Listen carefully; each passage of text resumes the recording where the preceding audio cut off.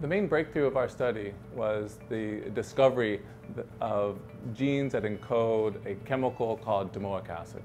Domoic acid is a powerful neurotoxin that is produced by harmful algal bloom phytoplankton in our oceans.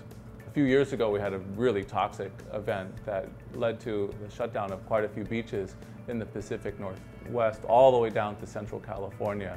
That led to loss of fisheries, toxic events to marine mammals, and even some deaths. One of the main questions in the field of studying harmful algal blooms is, is how are they made? Where do they come from? My name is Brad Moore. I'm a professor at the Scripps Institution of Oceanography at UC San Diego.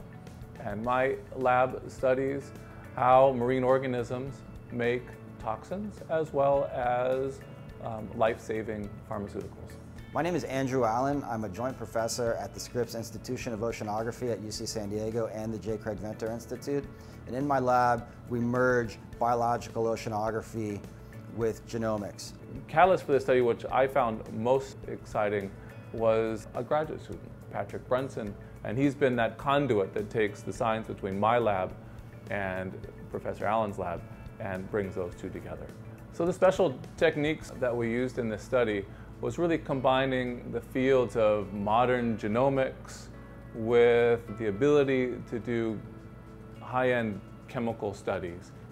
The genome of Pseudo-nitzschia is really complex. Now there are over 20,000 genes in the, in the diatom genome. And because of that, it's quite frankly a needle in a haystack.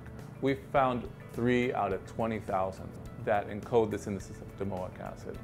A major result is that the biosynthesis genes that drive domoic acid production are clustered in one small, very small region in the genome.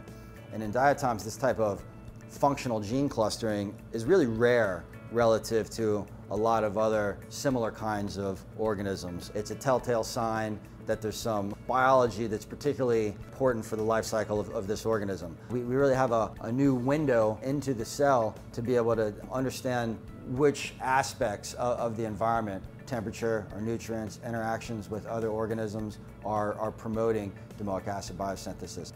This new finding has the potential to really impact the way that we monitor harmful algal blooms in the future. If we can look at the genes that encode the chemistry to make those toxins, this will give us a window before a toxic event happens.